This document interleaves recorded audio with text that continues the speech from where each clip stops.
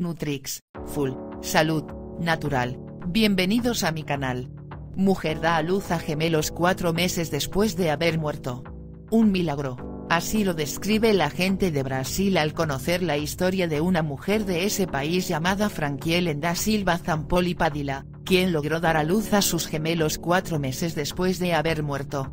Su pareja y padre de sus hijos, Muriel Padilla, llegó a su casa y encontró a Franquielen llorando, con temblores y con vómitos constantes, debido a un fuerte dolor de cabeza. De inmediato la llevó al hospital en donde lamentablemente, horas más tarde se informó que la joven sufría muerte cerebral a causa de una hemorragia.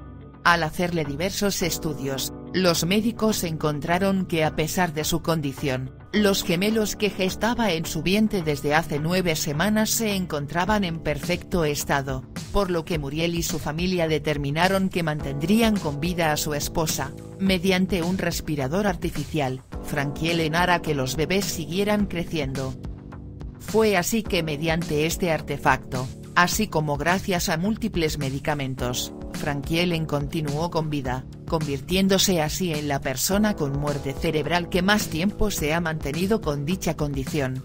A los siete meses de gestación, los médicos decidieron practicarle una cesárea a esta mujer para que pudieran nacer los pequeños a Salfianna Victoria, quien a pesar de diversas complicaciones que los mantuvieron internados en incubadoras, finalmente, tres meses después pudieron ir a casa con su padre.